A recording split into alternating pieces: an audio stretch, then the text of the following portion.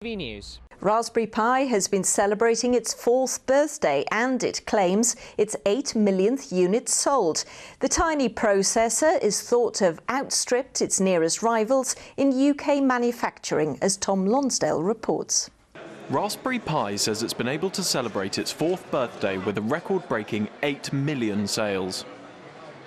This highly customizable piece of hardware can be anything from a parent detector to a birdhouse connected to social networks. To mark the event, volunteers put on a birthday party at the Cambridge Computer Lab, where it all began.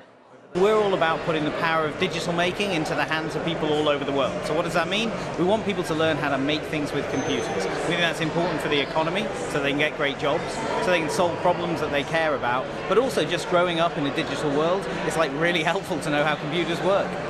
Like well-established tech giants IBM and Apple, Raspberry Pi develops rapidly to keep up with user demand. Only four years after they released their first Pi, they've released number three, um, it's about 10 times faster than the original Raspberry Pi that you can see in this case here, um, and between 50 and 100% faster than Raspberry Pi 2.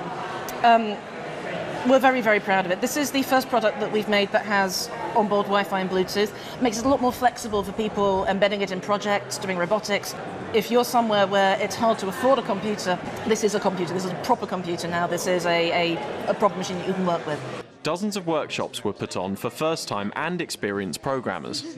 Coders like Crazy Squeak have been at it for a year and a half and have been able to create entirely new games. Well, basically, I expanded on a work on a workshop project about displaying art on the SenseHat, and I've expanded it so that it's a Tamagotchi type thing. Okay. Basically, if you were to shake the sense hat, the cat would wake up, and if you shook the sense hat too hard, the cat would meow. And if you leave it, it will start to lose health. And if you shake the cat too much, the cat will lose health again. The Raspberry Pi has proved popular around the world. With models costing as little as $35, it could spread coding skills in the developing world. But it does have its challenges.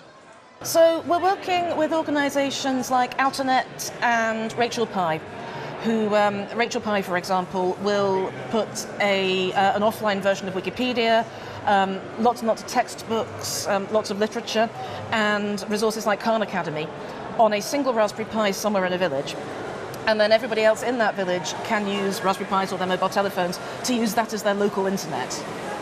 Um, so that's been quite powerful, and um, we're also working with other charities who are looking at getting solar power into places and looking at making infrastructure more usable.